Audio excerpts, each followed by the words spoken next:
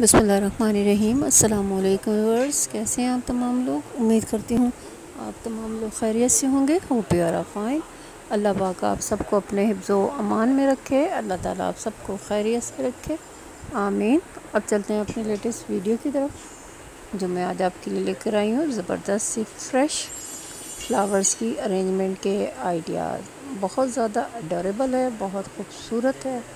آپ فلاورز کی ارینجمنٹ کے آئیڈیاز سیکھ سکتے ہیں میری ویڈیو سے۔ آپ ان کی کلیکشن کو دیکھ کے اس طرح کے فلاورز فلاور شاپ سے لے کے آپ یہ اس طرح کے ارینجمنٹ اپنے گھر کی ڈیکوریشن میں اضافہ کر سکتے ہیں۔ تو فرینڈز ویڈیو کو اینڈ تک دیکھیے گا۔ لائک اور شیئر ضرور کیجیے گا۔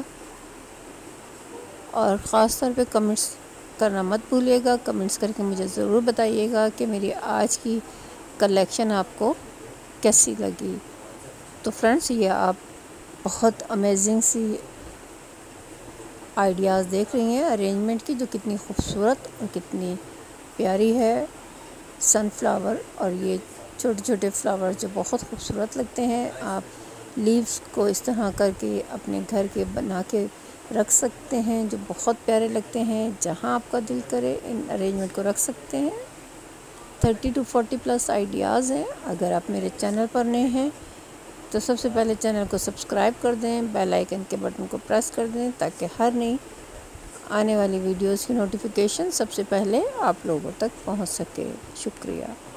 تو فرینڈز آپ یہ کلرفل فلاورز کی ارینجمنٹ جو دیکھ رہے ہیں، جو بہت ہی خوبصورت جاپنیز ارینجمنٹ ہے، ایک بنا ہے، جو بہت خوبصورت لگتی ہے، بظاہر دیکھنے میں بھی۔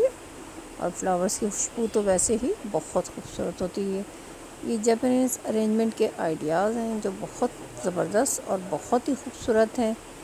آپ ویڈیو سے دیکھ سکتے ہیں کہ کس طرح کی ارینجمنٹ کہاں پر آپ بنا کے رکھ سکتے ہیں، کہاں رکھی ہوئی خوبصورت لگے گی، یہ آپ ویڈیو کو دیکھ کے اندازہ لگا سکتے ہیں۔ فلاورز کو کتنے زبردست طریقے سے ارینجمنٹ کی گئی ہے، یہ بھی آپ دیکھ رہے ہیں۔ جو بہت خوبصورت ارینجمنٹ ہے۔ تو فرینڈز، میری کوشش ہوتی ہے کہ بہت خوبصورت سی ارینجمنٹ آپ لوگوں کے لیے لے کر آؤں۔ بہت زبردست ارینجمنٹ ہو، جو آپ لوگوں کو پسند آئے۔ اگر ویڈیو پسند آئے تو لائک اور شیئر ضرور کیجیے گا۔ اور اگر آپ میرے چینل پر نئے ہیں تو سب سے پہلے چینل کو سبسکرائب کر دیں بیل آئیکن کے بٹن کو پریس کر دیں، تاکہ ہر نئی آنے والی ویڈیوز کی نوٹیفیکیشن سب سے پہلے آپ لوگوں تک پہنچ سکے۔ تو فرینڈز اپنا بہت سا خیال رکھیں، اپنی دعاؤں میں یاد رکھیں۔ اللہ حافظ، فی امان اللہ۔